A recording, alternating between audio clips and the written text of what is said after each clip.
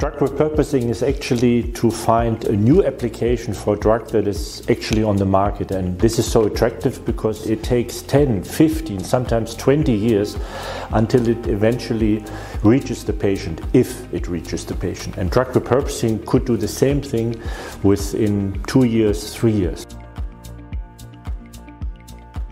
We are actually at the verge of, I think, calling it a revolution in medicine is not an exaggeration.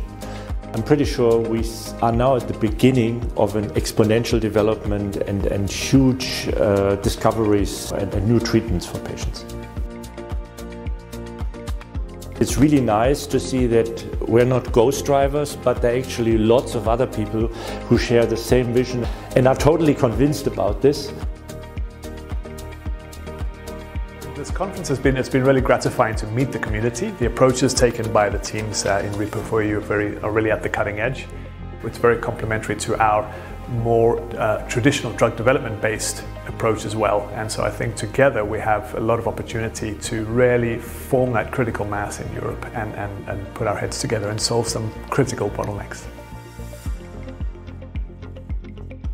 Is a lot of um, successes that can be built off of. This is not starting from scratch. Organizations that have been leading this effort quietly behind the scenes for a long time are uh, so excited to have the attention that repurposing now has in Europe.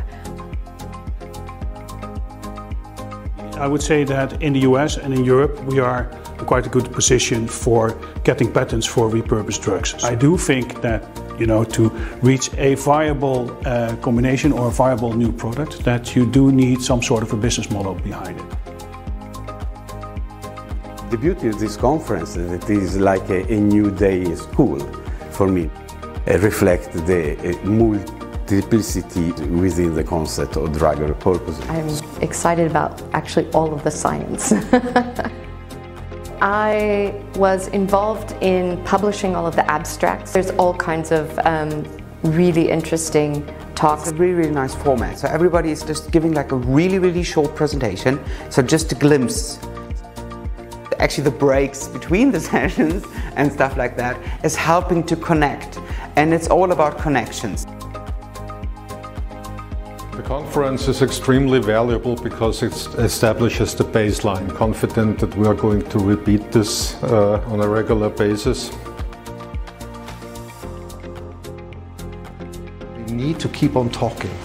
So that's what I would love to see, just a forum to talk to each other and to challenge each other, see what concepts are really the ones that in the end made it to the patient. Yeah.